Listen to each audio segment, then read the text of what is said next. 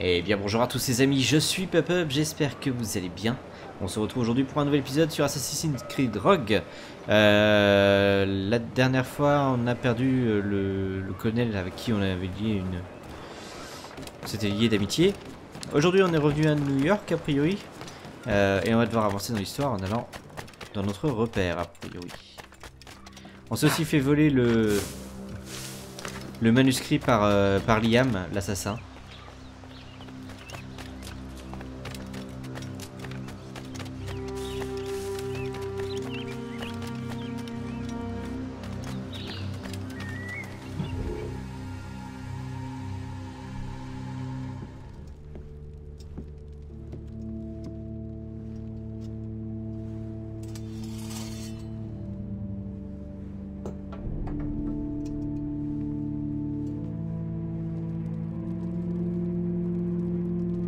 Ça va être établi. Jures-tu de respecter les préceptes de notre ordre Et tout ce que nous défendons? Je le jure. De ne jamais divulguer nos secrets, ni la véritable nature de nos actes Je le jure. De nous rester fidèles quoi qu'il advienne. Jusqu'à la mort Je le jure. Tu es désormais des nôtres, mon frère.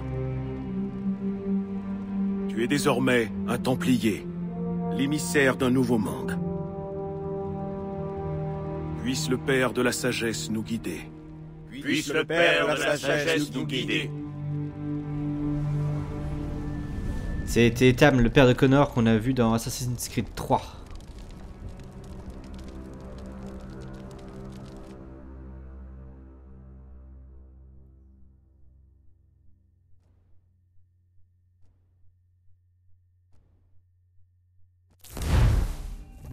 Vous comprenez à présent? Ok. Je comprends pourquoi vous vous intéressez à Shay Cormac.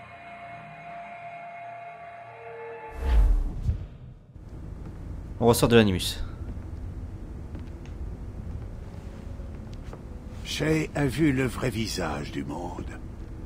Et il a choisi son camp en conséquence.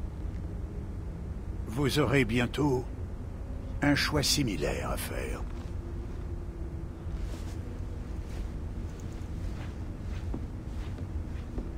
Je pensais pas que t'irais aussi loin, mais t'as l'air d'être sur la bonne voie. On peut toujours pas accéder au serveur du sous-sol, mais il y en a un autre en haut de l'immeuble, près du bureau de Mélanie. C'est là que tu dois aller. Ok, on va devoir rejoindre euh, les serveurs à l'étage. Hop, l'ascenseur va être par là. On va devoir aller voir le bureau de Mélanie.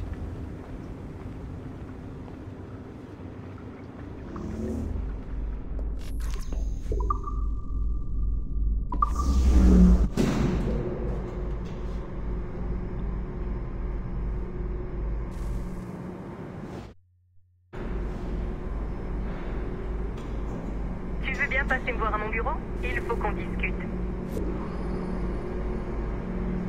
Elle va retrouver Mélanie dans son bureau. Ah, c'est l'ancien bureau d'Olivier, ça, non?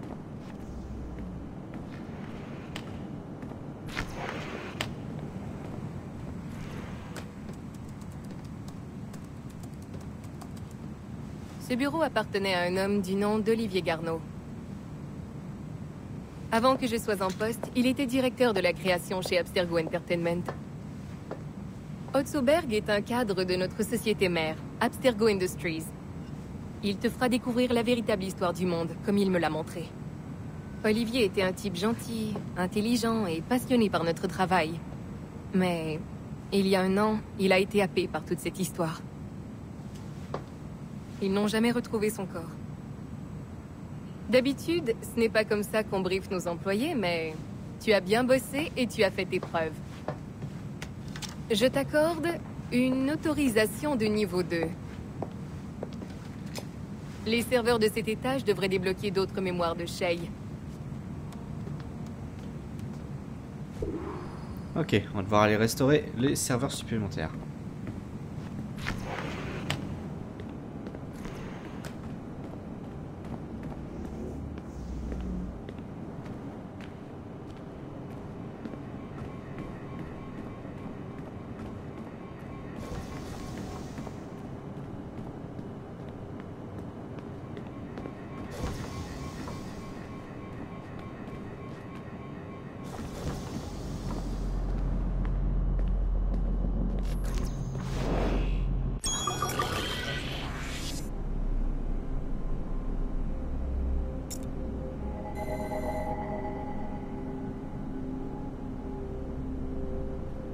Font réflexion, il y en a qui sont transparents, ok.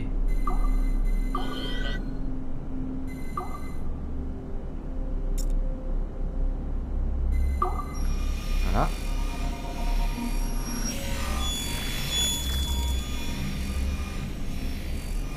On a réparé le noyau suivant. François Mackendal a sauvé Baptiste de l'esclavage pour l'initier à sa prétendue confrérie. Mackendal était un menteur cruel. Obnubilé par l'idée de libérer les esclaves, il enfreignit son credo en tuant les nobles sans distinction. Malgré la voie qu'ils suivent, certains assassins ont le sens de l'honneur. Pas Mackendal. En 1758, grâce au génie et à la ruse de Madeleine de Lille, les Templiers firent un exemple de Mackendal en l'exécutant publiquement. Ce qui lui tenait lieu de confrérie se délita rapidement.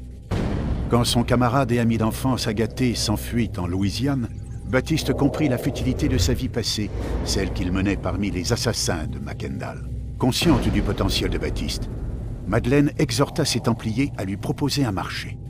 S'il parvenait à faire sortir Agathé de sa cachette pour l'éliminer, il serait admis dans l'ordre des Templiers. Même si Baptiste fut tué par l'assassin Aveline de Grandpré, sa vie démontre clairement la supériorité inhérente des idéaux templiers face au terrorisme des assassins. Ok, c'était une nouvelle inspiration. Ton animus n'attend plus que toi. Eh ben c'est reparti.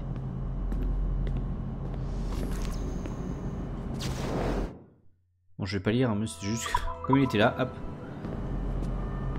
Après, j'ai pas récupéré les autres les tablettes suivantes, donc. euh.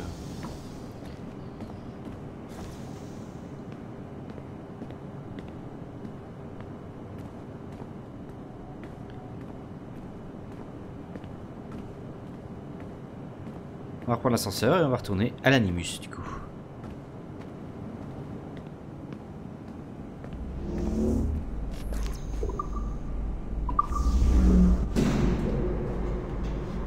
Bien joué, cobaye. J'ai chargé la suite des c'est quand tu veux. Nous y sommes presque. Sachez que vous contribuez à une juste cause, même si elle se dérobe à votre compréhension.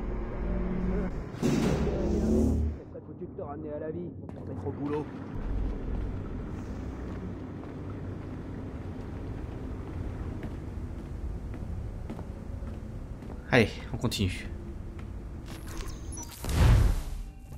On repart dans l'animus. Bordel Qu'est-ce qui se passe Encore un bug Le même qu'avant, Shay est de retour à Notre-Dame. Essayez d'aller au bout de la mémoire, cette fois-ci.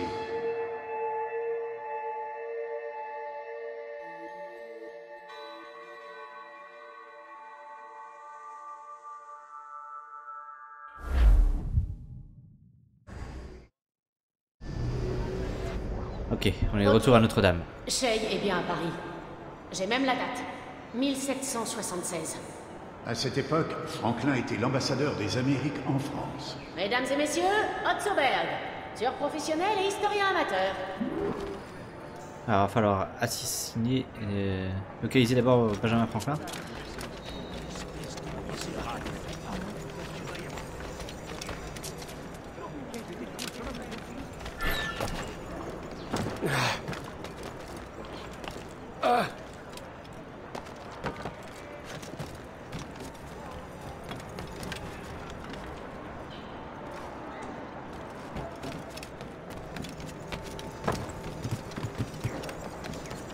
Arrêtez Que faites-vous Je ne vous cherche pas querelle Sale pourceau d'anglais T'aurais jamais dit quitter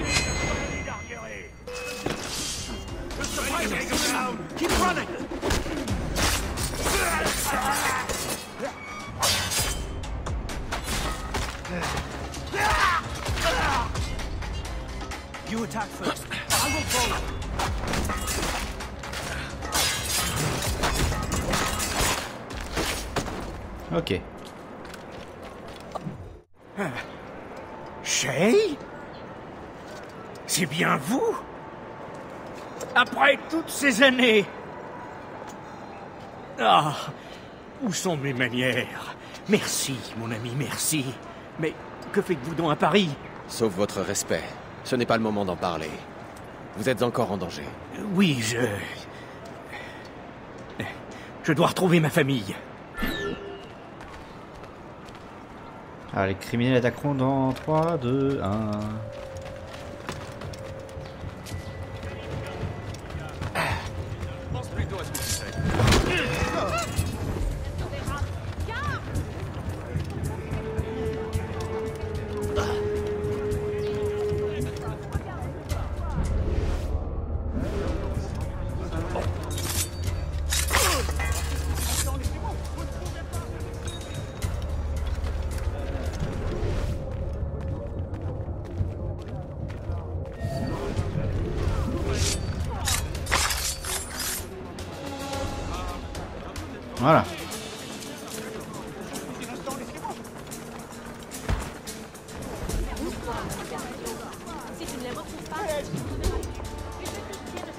Ah, merci, Shay.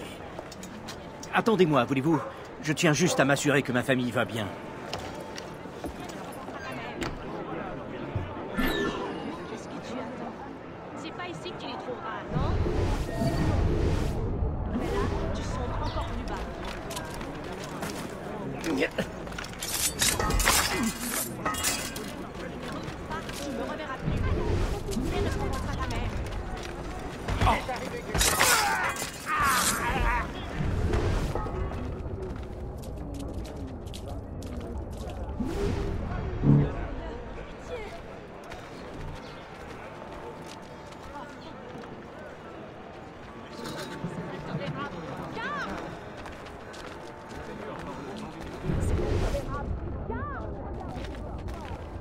Est-ce qu'ils sont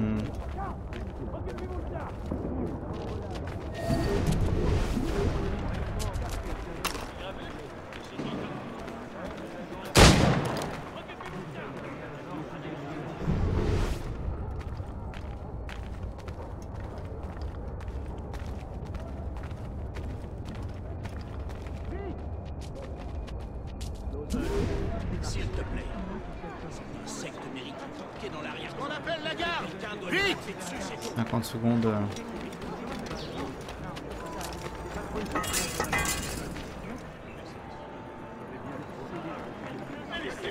Imbécile C'est interdit, ça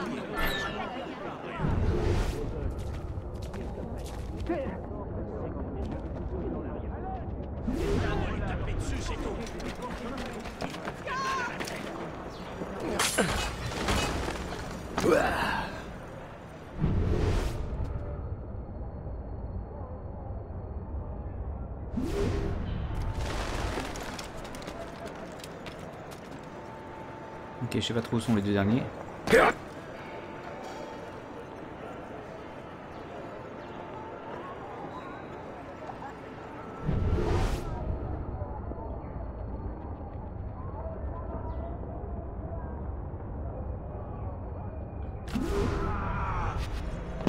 C'était où Tout le monde est sain et sauf. Ces brigands Nous ont suivis. Il en arrive d'autres.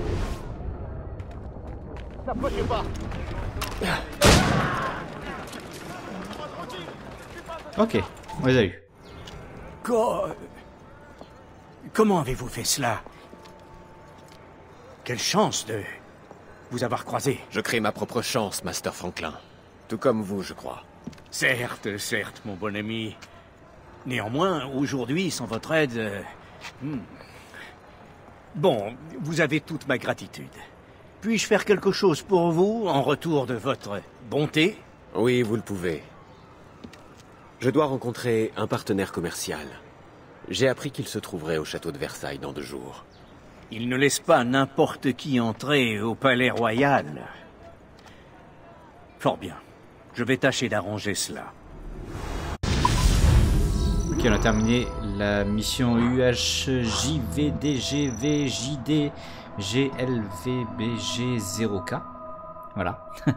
ok.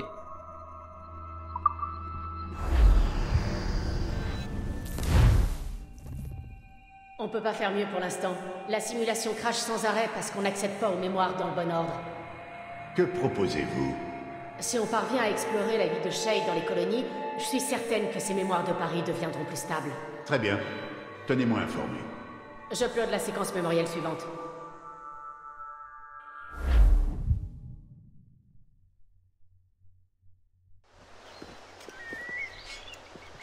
Chez Cormac, spécialiste de l'ordre en matière d'archéologie des précurseurs. Je ne suis pas un expert, monsieur. Mais j'ai vu quel mal les assassins pouvaient tirer de ces sites. J'ai étudié durant des années tout ce qui a trait aux précurseurs. Décris-moi ce que tu as vu. Eh bien, je sais que Templiers et Assassins recherchent les fragments d'Éden. Des armes puissantes, des pommes contrôlant l'esprit, mais cette fois, c'est autre chose. Je n'ai pas trouvé une pomme, mais... un arbre. Ces temples maintiennent la terre en place, comme des racines. Lorsqu'on les dérange, Haïti disparaît. Ou Lisbonne. Ou tout autre endroit indiqué sur le manuscrit. Et les assassins persistent à manipuler ces structures? Oui. Si nous ne les arrêtons pas, ils continueront à détruire des villes. Je vois. On nous a signalé des assassins aux abords de la forteresse de Louisbourg. Nous allons rencontrer un officier de la Royal Navy, James Cook. Il vient d'être nommé commandant, un poste qui pourrait nous être fort utile. Guy à les cartes. Très bien. Je pars au plus vite. Le colonel Monroe t'a toujours tressé des lauriers. Il était persuadé que tu deviendras le meilleur d'entre nous. Alors, ne déçois pas. Je n'en ai pas l'intention, sœur.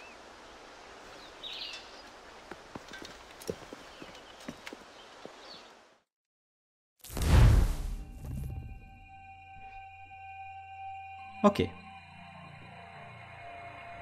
Ça fait plaisir de revoir Ethan.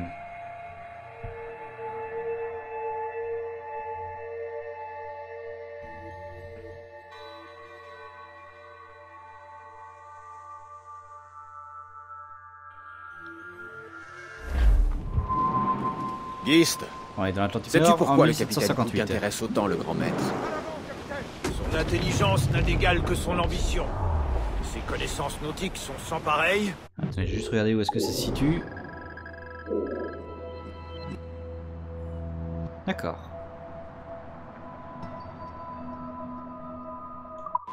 Et si j'en crois ma serveuse préférée d'Halifax, il vient d'être nommé capitaine d'un manoir. Il sait également déchiffrer les codes secrets, un expert. Un homme de tant de talent ne peut que servir notre cause. Le genre de personne que l'ordre accueille à bras ouverts. Ma foi, c'est un ami à moi, mais il a la fâcheuse tendance d'être tout le temps honnête. L'hypocrisie lui est inconnue. Autant dire qu'il garde bien mal les secrets. Surtout avec son cerveau de mathématicien capable de venir à bout de n'importe quel code. Traite-le en allié, mais prends garde à ce que tu dis en sa compagnie. Je m'en souviendrai.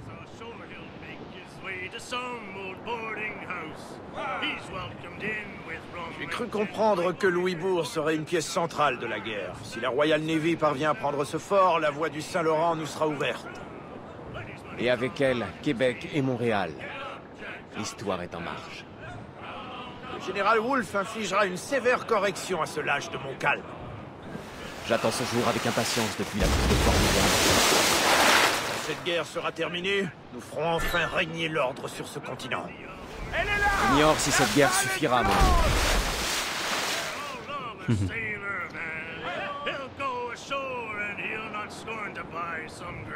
Allez, on va arriver à destination.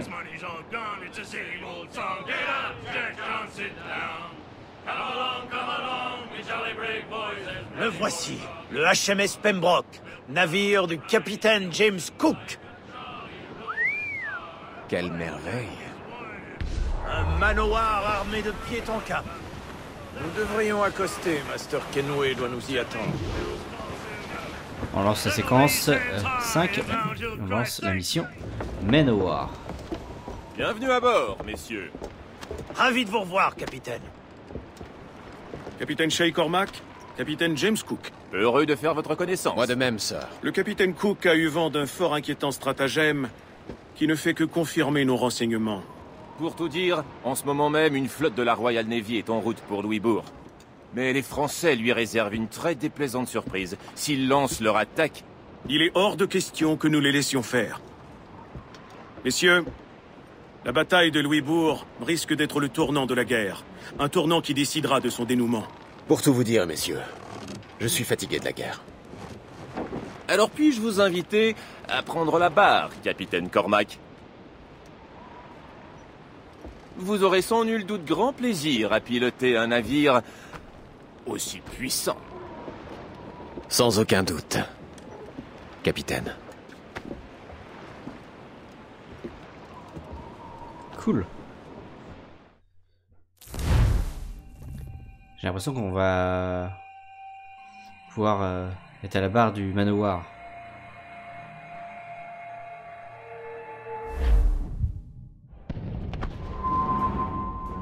Est à Louisbourg en juin 1758.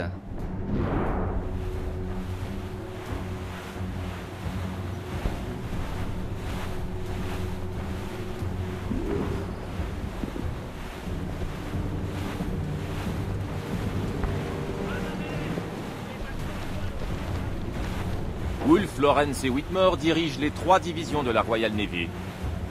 Qui est leur commandant? Le major général Amherst en personne, de retour d'Hanovre. Tu t'intéresses donc à la guerre, Shay Je ne voudrais pas vous décevoir, monsieur.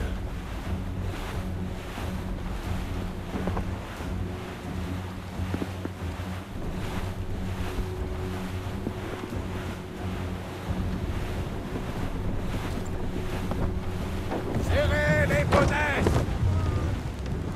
Toute la toile, il peut le supporter Déferlez concrètement Larguez les huées Ennemi droit devant Il est touché Allez. Navires ne doit passer Nous nous devons de les arrêter, capitaine L'issue de cette guerre pourrait en dépendre Mais à profit des mortiers, Shay. Ils seront indispensables à notre réussite.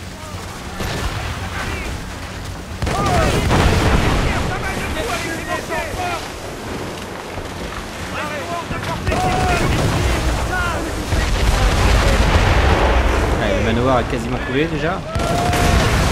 Voilà.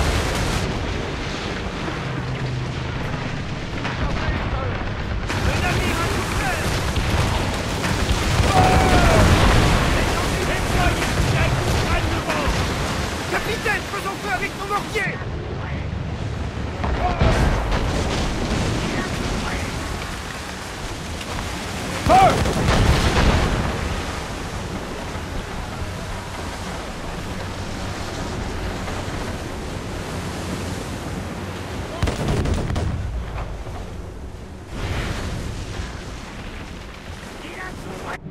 Ok. Bah c'était cool. C'est puissant quand même un manoir.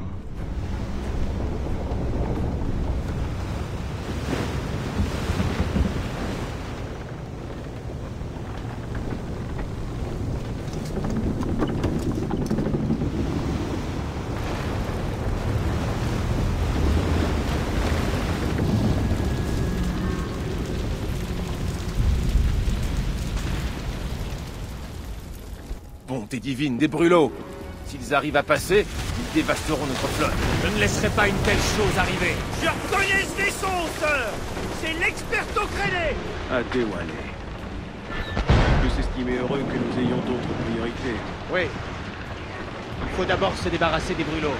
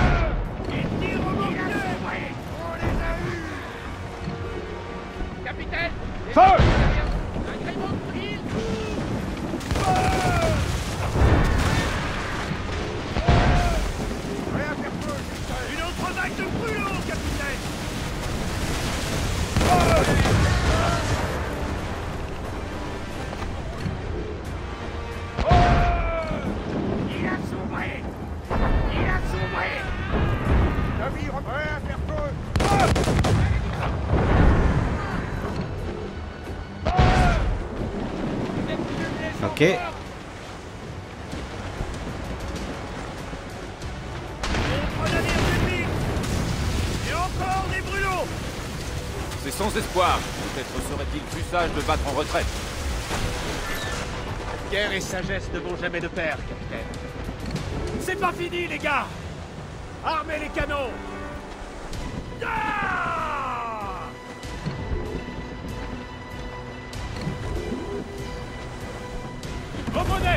Je veux de la vitesse Allez, on va accélérer un peu.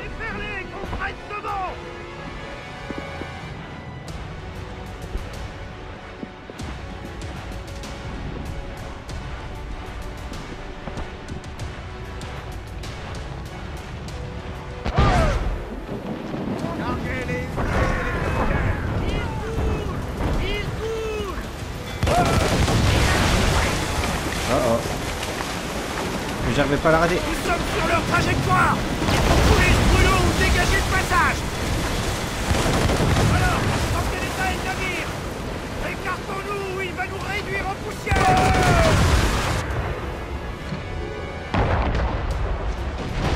Attention Arme tes mortiers, Shay.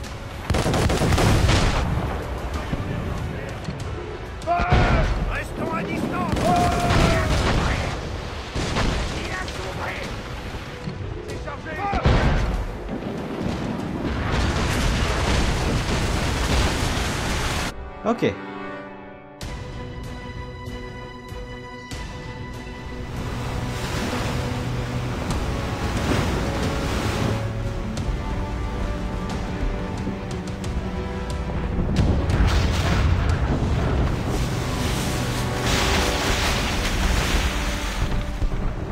Voici la Royal Navy.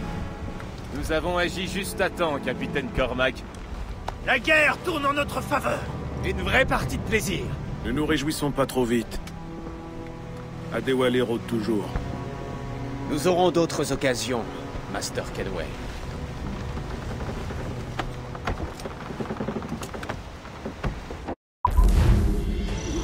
Allez, on va terminer la mission. À 100% en plus. Nickel.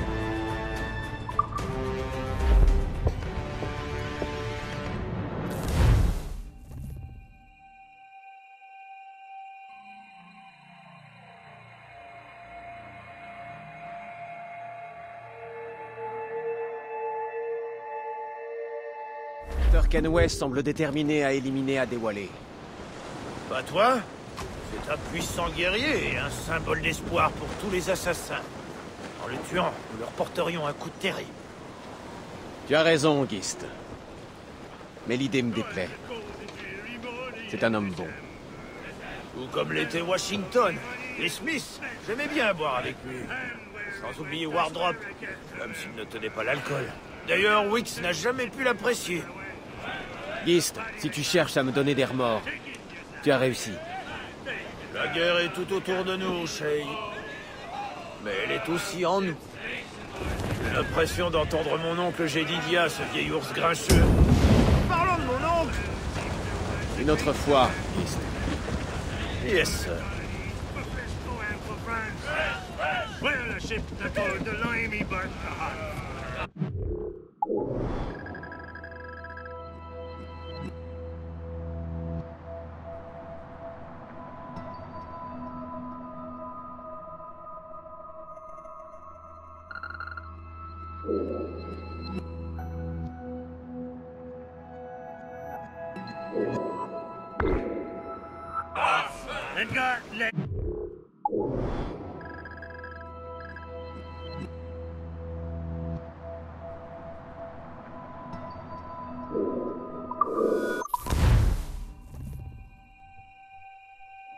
Alors, on a pu tester le pétrole. Euh, là, je vais faire un déplacement rapide du coup vers la zone concernée par la prochaine mission, même si je pense pas la faire aujourd'hui. Quel vent, capitaine On va s'avancer. Larguez la grand voile Allez, du nerf On doit aller à River Valley.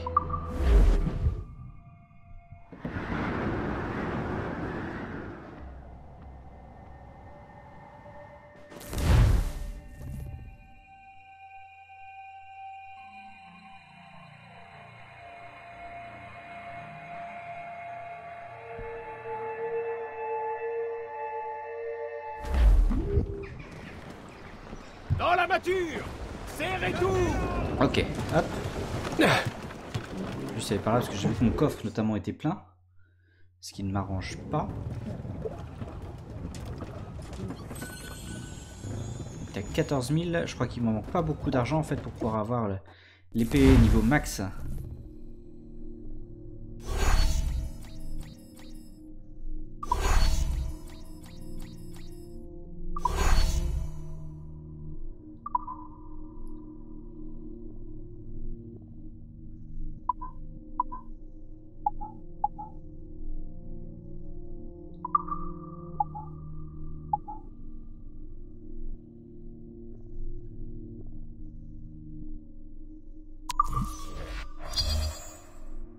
Je suis sec sur celle-là.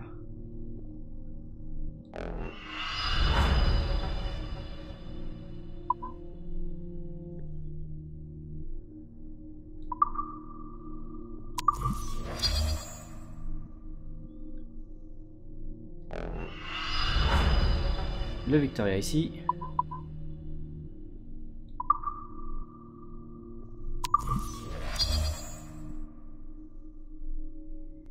Duke sur celle-ci.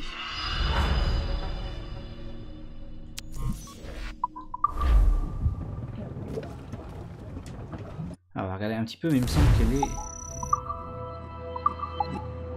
Ah, elle est peut-être à 14 000, remarquez, je sais plus. Non, elle est à 18 000.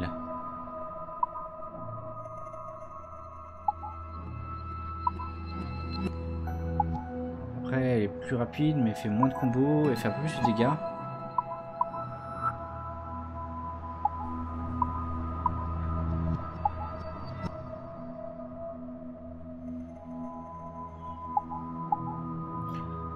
Va attendre encore un petit peu, il n'y en a plus pour très très longtemps pour avoir cette, euh, cette épée.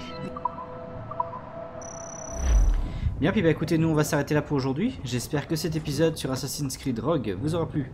On se retrouve euh, dans... prochainement pardon, pour la suite de l'aventure. D'ici là, je vous souhaite à tous une bonne fin de journée et je vous dis à la prochaine.